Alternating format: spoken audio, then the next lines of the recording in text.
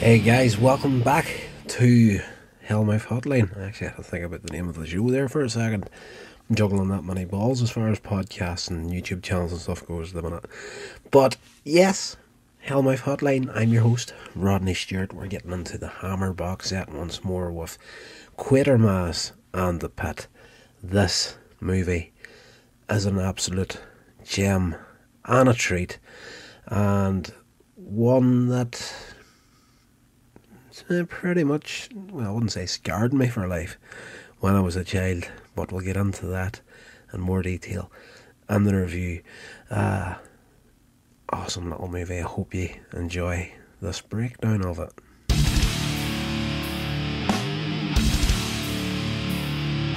This is an excellent movie released in 1967 by Hammer, and it is as a sequel to the Quatermass Experiment and Quatermass 2. Uh, I haven't seen them yet, and the box set does not contain those two movies.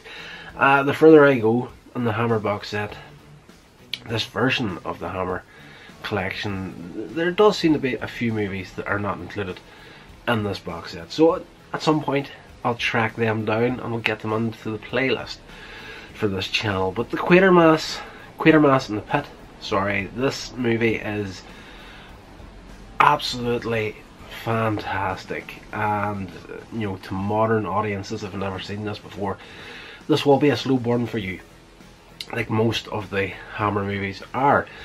Uh, again these movies as I've said before in the past give them a little bit of time to get into it and you're not going to be disappointed especially in this one. I have seen bits and pieces of this throughout my life uh, very rarely have I sat down and seen the entire movie and it was an absolute genuine thrill to watch it again and just get my head under it properly once and for all. I think one of the earliest memories I have of seeing Quatermass and the Pit was on late night TV back in the early 80s whenever I was a kid. Um, yes, kids, showing my age right here. Um, I think it must have been around 84, 86. I was channel hopping one night when I should have been sleeping. At that stage, I was back in primary school. I was only about maybe seven or eight years old at the time. And, you know, late night, kid that age, should be sleeping, but no. Numbnuts here was up channel hopping uh, when his parents didn't know about it. So like you know, I bounced across probably the last ten to fifteen minutes of Quatermass and the Pit at that age, and it absolutely terrified the life out of me. Now, the closing of this movie is absolutely fantastic. The, the set pieces at the end of the movie with you know the streets getting tore apart in London and you know the giant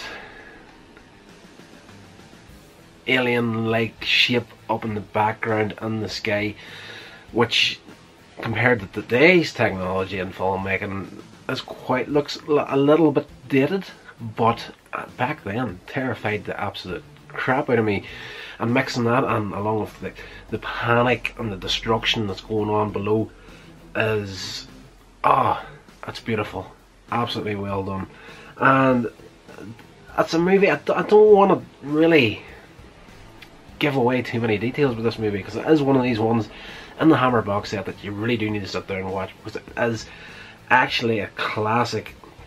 I'll just give you a little bit of what it says on Wikipedia for uh, Quatermass and the Pit. It just goes through here.